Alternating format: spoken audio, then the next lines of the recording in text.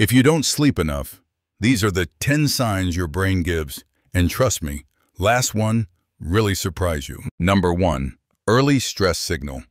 Your brain sends a warning alert before you even realize you're tired. Number two, cortisol spike. Your stress hormone shoots up and puts your body into alert mode. Number three, slower neurons. Your brain cells fire slower, so thinking feels harder. Number four, weak memory signals.